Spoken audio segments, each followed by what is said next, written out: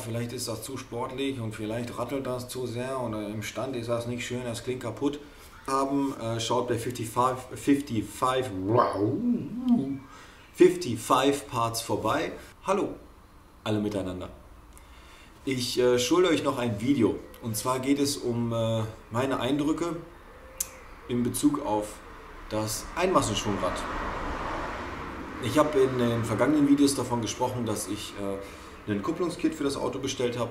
Ähm, also das komplette Kit mit Ausrücklager, Schwungscheibe, Einmassenschwungrad etc. Und ähm, mit, mit äh, Druckplatte und all, allem, was dazugehört von äh, PTB, PTB Racing. Und das Ganze ist auch schon eingebaut. Und äh, wenn ihr genau wissen wollt, wie so eine Kupplung funktioniert und was in der Theorie also was ich in der Theorie von einem Einmassenschwungrad erwarte, dann schaut euch das Basic Talk Video an, ähm, in dem es um das Einmassenschwungrad geht. Da erkläre ich das an, einem, äh, an, einem, einer ausgebauten Kupplung oder beziehungsweise noch nicht eingebauten neuen Kupplung mit dem kompletten Kit.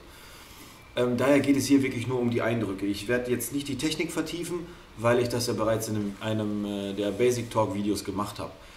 Also, man ähm, hat immer hohe Erwartungen, beziehungsweise geht da sehr hoffnungsvoll an diese ganze Sache dran, weil das Ganze kostet ja auch ähm, einiges an Kohle. Und ähm, man sagt sich, okay, ich spare Gewicht, rotierende Masse und äh, das werde ich direkt am Gaspedal merken. Sprechen wir mal in Zahlen. Das äh, serienmäßige Zweimassenschwungrad, welches in dem Auto eigentlich verbaut ist, wiegt 12 oder 12,5 Kilogramm. Das äh, Einmassenschwungrad von PTB wiegt laut PTB 5,8 oder 5,9, laut meiner Waage 6, also ungefähr halb so viel. Mm, PTB hat kürzlich eine neue Generation rausgebracht. Die äh, Einmassenschwungräder Schwungräder davor lagen bei 8 Kilo oder circa. Jetzt nur 6, was wirklich sehr, sehr, sehr leicht ist. Ähm, das Gute ist, PTB baut die Teile ähm, in derselben Bauform, das heißt quasi Plug and Play. Du kannst dasselbe Kit also quasi du kannst die, die, die Bauform vom Einmassenschwungrad ist dieselbe wie vom Zweimassenschwungrad, allerdings, wie es der Name schon sagt, besteht es nur aus einem Teil, ist somit deutlich leichter. Was es mit der Lagerung etc. auf sich hat, der Unterschied zwischen EMS und ZMS, ähm, schaut ihr euch auch hier in dem Video davor besser an. Da habe ich die Bauteile in der Hand und erkläre das Ganze ein wenig. Ähm, ich habe das Ganze in Kombination mit einer gefederten Kupplungsscheibe genommen. Das heißt, ähm, die, ähm, die Kupplung ist jetzt nicht komplett starr, sondern ich habe Torsionsfedern in der Kupplungsscheibe, was mir das Anfahren ein wenig erleichtert. Ähm, kommen wir zum eigentlichen Thema. Meine Eindrücke. wie gesagt, man hofft, ja, man, man erhofft sich ja viel oder geht da mit ganz großen Erwartungen ran. Das Ganze kostet ja auch wirklich viel Kohle und ähm, möchte das auch direkt im Gaspedal spüren. Ähm, man merkt es auch, ja, allerdings macht euch da nicht viel zu große Hoffnung. Klar, man spart 50% an der Kurbelwelle, also das ist auch falsch, also 50% in Bezug auf, der Schwung, auf, auf das Schwungrad. Ne? Der Rest der Bauteile sind ja irgendwie immer noch da dran. Ähm, was immer noch nicht wenig ist, Klar, aber denkt jetzt nicht, dass das Auto plötzlich ähm, einen riesen Satz nach vorne macht, was die Leistung angeht. Ihr habt ohnehin kein, keine Mehrleistung, ihr habt nicht mehr PS dadurch, ihr habt nicht mehr Drehmoment dadurch, das ist gleich auch in einem anderen Video bereits. Das Einzige ist, ihr habt weniger hemmende Masse bzw. träge Masse. Die Masse hat eine gewisse Trägheit, möchte sich nicht bewegen, die Kurbelwelle arbeitet dagegen und so weiter. Das hatten wir alles schon. Ähm, ihr macht es dem Motor ein wenig leichter. Das bedeutet, dass der drehfreudiger ist. Äh, man kommt schneller auf Drehzahl. Das stimmt auch. Das merkt ihr im, im ersten Gang. Im ersten Gang, da möchte ich das gar nicht vergleichen, weil ich, ich reiße den ersten Gang nie wirklich hoch. Ja, ich fahre keine Ampelrennen oder, oder Drag Races oder sowas. Der erste Gang ist für mich eigentlich nur zum Anfahren.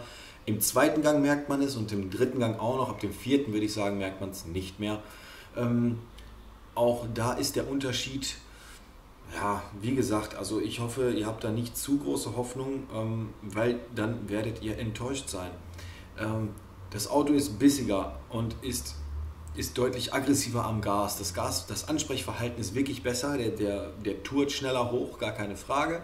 Ähm, aber wenn ich das in Relation sehe zu den 840 Euro, die noch relativ günstig sind bei PTB, weil ähm, die Kupplung bei CCC Motorsport in Verbindung mit einer Sachs Performance und all sowas, ähm, da ist man ganz schnell über 1000 Euro. Ähm, nach meiner Recherche waren PTB mit einem Gesamtkit, die liefern ja auch die Schrauben mit, Ausrücklager und so weiter, Fliege, ähm, ist PTB, glaube ich, sogar mit der günstigste Anbieter. Das Ganze ist auch fein gewuchtet und so weiter. Also da ist äh, seitens PTB bin ich da echt happy mit. Ähm, wo wollte ich hin?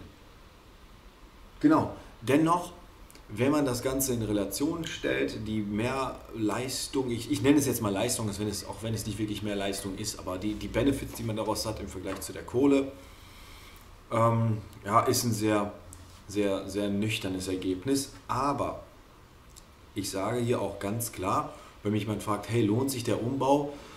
Wenn du das Ganze aus Spaß umbauen willst, kannst du machen. Wenn du dich dadurch besser fühlst, okay, du, äh, das, das Ganze wird auch, auch bissiger am Gas sein und er wird auch schneller hochdrehen, ja. Ob du dadurch bessere Rundenzeiten hast, wage ich zu bezweifeln, weil im, im oberen Drehzahlbereich, sagen wir ab 4000 Umdrehungen, relativiert sich ja das Ganze durch die Geschwindigkeit der Kurbelwelle. Ähm, daher würde ich nur bedingt Ja sagen, dass es sich lohnt, aber der N52 B30 Motor, wie er hier verbaut ist und auch im 1er, hat äh, folgendes Problem und zwar das Zweimassenschwungrad ist das Problem an sich. Das ist sehr schnell kaputt. Ich hatte auch ein, ein Zweimassenschwungrad, das hat überhaupt nicht mehr funktioniert. Äh, die Lagerung war hinüber, die Torsionsfedern waren hinüber, das Ding lief quasi wie ein Einmassenschwungrad, aber ähm, war halt unnötig schwer. Ich glaube, ähm, davon sind auch andere Motoren betroffen, nicht nur vom Z4 und vom 130, auch von anderen Herstellern. Ich glaube, dass das Zweimassenschwungrad ähm, wirklich ein Bauteil ist, was, was halt klar viel Belastung kriegt, viel wechselnde Belastung und einem irgendwann den Geist aufgibt. Wenn das bei euch der Fall ist, dann würde ich definitiv sagen, müsst ihr wechseln und zwar auf den Einmassenschwungrad, weil das Zweimassenschwungrad ein Original ist, ist schweineteuer. Und warum dann wieder so ein schweres Ding einbauen? Also würde ich sagen, wenn ihr, so, wenn ihr, wenn ihr eure Kupplung eh macht, beziehungsweise das, äh, das ganze Kit wechselt, dann wechselt auf den Einmassenschwungrad. Nächster wichtiger Punkt, Geräusche. Die Geräuschkulisse, viele haben Angst davor, das klackert ja enorm im Stand. Tut es, es ist laut, aber ähm, da kann ich euch leider nicht viel zu sagen, weil, also im, im kalten Zustand klackert es nicht. Im warmen Zustand, im Leerlauf, wenn der Motor, ähm, wenn, der, wenn, ihr, wenn ihr an der Ampel steht, im Leerlauf, im warmen Zustand, ähm, ist das schon am Klackern. Definitiv. Mich stört es nicht, ich finde es cool. Ähm, bei mir ist es allerdings sehr heftig, weil ich in dem Zuge auch härtere Motor- und Getriebelager genommen habe. Dazu habe ich auch nochmal ein Video gemacht. Könnt ihr euch auch anschauen, was ich da im Detail zu erzähle. Deswegen sind meine Eindrücke da jetzt ähm, nicht wirklich objektiv, äh, da ich das Ganze in einem Zug gewechselt habe. Aber äh, ohne die härteren Motor- und Getriebelager ist das Geräusch wirklich nicht so extrem. Äh, ich kenne es von meinem alten Fahrzeug. War zwar ein ganz anderer Motor, aber dennoch ist es nicht so krass. Im Stand hört man es mal, aber äh, sobald man anfährt, ist es dann irgendwann weg. Und ähm, der zweite riesengroße Vorteil ist, man spart tatsächlich einfach Gewicht.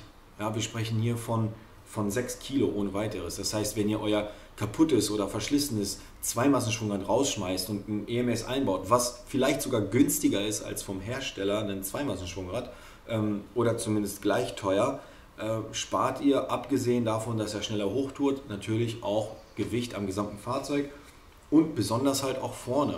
Wie ihr vielleicht auch in meinen anderen Videos gesehen habt, gibt es nicht ganz so viele Möglichkeiten, wirklich vorne Gewicht zu sparen. Ja, und ähm, da würde ich zum Beispiel sehr gerne Gewicht verlieren und nicht an der Hinterachse, dass die mir zu leicht wird.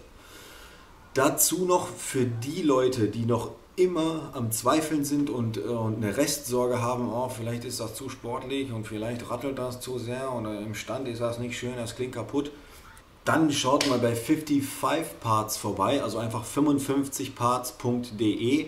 Äh, da habt ihr so ein Anti, ich glaube Anti-Rattle-Kit heißt das, wenn ich, mir, wenn ich mich nicht täusche. Genau, da schaut ihr vorbei.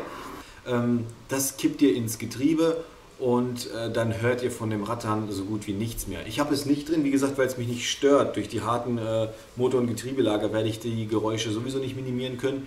Ähm, Finde ich auch nicht schlimm für ein Auto, was auf der Rennstrecke bewegt wird. Ähm, ist halt ein bisschen Racing. Für die, wie gesagt, die Zweifel haben, äh, schaut bei 55, 55, wow, 55 Parts vorbei. Und ähm, die Jungs haben aber auch andere Alternativen für ähm, auch andere Motorisierungen, was äh, Kupplung angeht. Und ähm, Einmassenschwungräder und so weiter, die sind auch sehr fit drin. Schaut da vorbei und, ähm, und ja, ich hoffe, das bringt ein bisschen Klarheit in die Thematik für die Leute, die vor der Entscheidung stehen, sich ein Einmassenschwungrad zuzulegen. Äh, mein Riesenbenefit sind zusammenfassend, mein Zweimassenschwungrad war ohnehin durch ähm, also wozu ein neues, teures kaufen, da er direkt auf EMS umgerüstet.